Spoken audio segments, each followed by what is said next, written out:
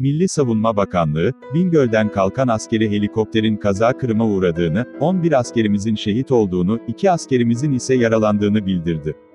Bakanlıktan yapılan açıklamada helikopterin kaza kırımına uğraması sonucu düştüğü bildirildi. Düşen helikopterde Elazığ 8. Kolordu Komutanı Korgeneral Osman Erbaş da şehit oldu. Milli Savunma Bakanlığı Bingöl'den Tatvan'a gitmek üzere olan Kara Kuvvetleri Komutanlığı'na ait Cougar tipi helikopter ile 14.25'te irtibatın kesildiğini ve arama kurtarma çalışmaları sonucu kırıma uğradığının tespit edildiğini açıkladı. Milli Savunma Bakanlığı, Tatvan'daki helikopter kazasında yaralanan bir askerin daha şehit olduğunu bildirdi. Bakanlıktan yapılan yazılı açıklamada, Tatvan'da kaza kırıma uğrayan helikopterdeki silah arkadaşlarımızdan biri daha kurtarılamayarak şehit olmuştur. Şehit sayımız 11'e yükselmiştir, ifadeleri kullanıldı. Kazada 8. Kolordu Komutanı Korgeneral Osman Erbaş şehit oldu. Helikopterde bulunan 11 askeri personel şehit oldu, ikisi ise yaralandı. Şehit olanlardan birinin Elazığ 8. Kolordu Komutanı Korgeneral Osman Erbaş olduğu öğrenildi. Korgeneral Erbaş, yaklaşık 5 yıldır 8. Kolordu Komutanlığını yürütüyordu. Türkiye'nin kahraman komutanı, Korgeneral Osman Erbaş. Tatvan'daki helikopter kazasında şehit olan 8.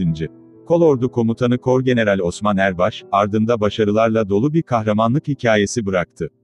Cumhurbaşkanı Erdoğan, helikopter kazasında şehit olan askerlere Allah'tan rahmet diledi.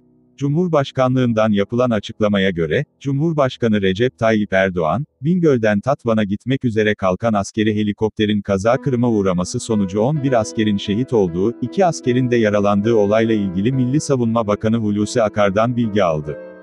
Kazanın duyulduğu ilk andan itibaren arama kurtarma çalışmalarını yakından takip eden Cumhurbaşkanı Erdoğan, şehitlere Allah'tan rahmet, ailelerine ve Türk Silahlı Kuvvetlerine başsağlığı diledi, yaralı askerlere şifa temennisinde bulundu.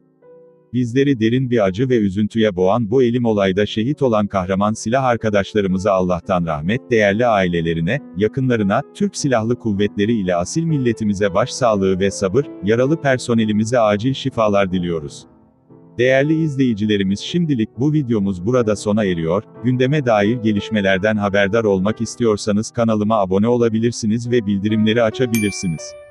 Videoyu beğendiyseniz beğenmeyi ve videoya yorum yapmayı unutmayın lütfen.